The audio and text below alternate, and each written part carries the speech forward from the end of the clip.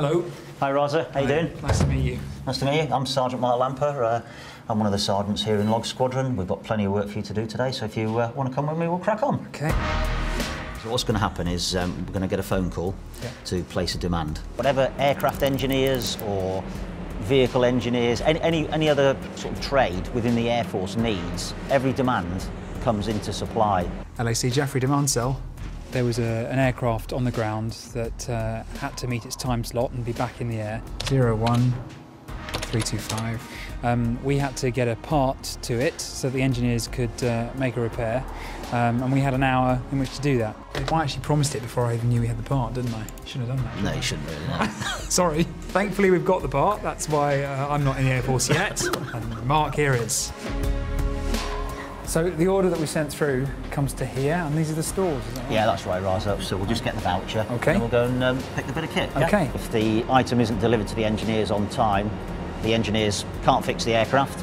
The aircraft doesn't fly, in effect. And do you know how many bits of kit are held down here? What, Oh, yes. You're looking at about probably about 75,000, 100,000 Wow. separate items Wow. easily. If that's needed to support ground troops in like Iraq, Afghanistan, they don't get the air cover, they don't get the information back they need.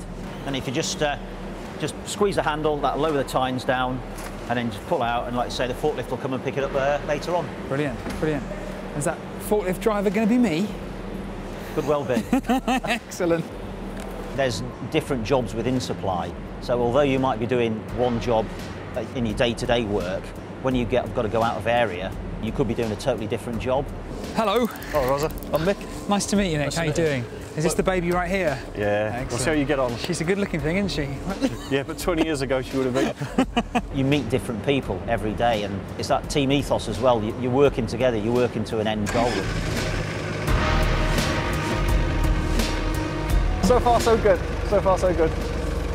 He's not the worst I've ever seen, believe it or not. When you run out of area ops, you can you can see your end product, what, what you're actually working for when aircraft are being generated into the sky. Oh yes. Putting my new forklift skills into practice here. Check behind. Off we go to the plane. So I've been asked to drop this off at the plane in order for the plane to be operational for its mission. I think the engineers are going to take over from here and get that plane back in the air.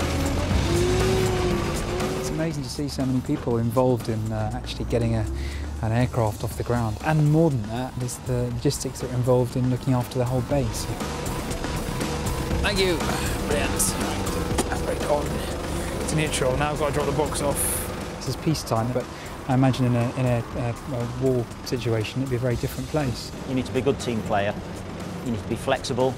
It's not just an eight to five job. It's it's 24 hours a day, seven days a week, 365 days a year.